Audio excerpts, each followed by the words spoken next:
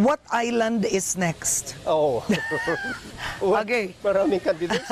Maraming candidates. So we, you have uh, you have uh, uh, Palawan, eh, Panglao. Maraming nagsasabi na punta ka dito, sa punta ka doon. So we will be there. You'll be there. Uh, Would you consider this your greatest achievement so Oh, far? well, uh, uh, with uh, no, with humility, uh, if this is really an achievement, I, I, well, this is one of the best because uh, nakita ko naman, because when I go around here, nag-inspect ako sa mga projects, yung mga tao is very, very appreciative of what we are doing. Akala ko pa naman, oh, ito, nagsarado ito, ito yung mga, ano, no, hindi naman parang they are, ano, they welcome me. So I was very, na, Yeah.